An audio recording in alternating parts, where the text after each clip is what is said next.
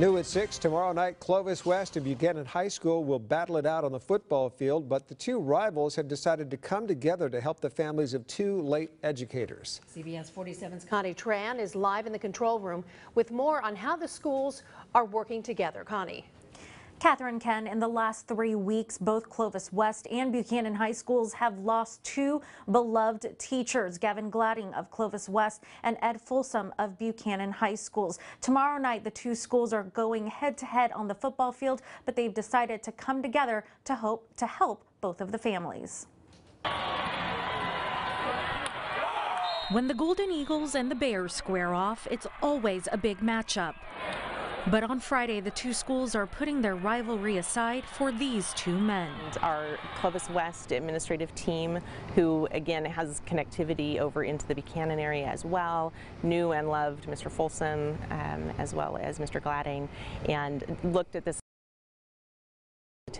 with the community for the families. Kelly Avants is the spokesperson for Clovis Unified. Tomorrow night, uh, every entrance to the football game will have donation all the proceeds collected will be split evenly and given to the families of Gavin Gladding and Ed Folsom. Even in the sadness of losing him as a person, it was great to see the community come together to support such a good human being and also to support his family.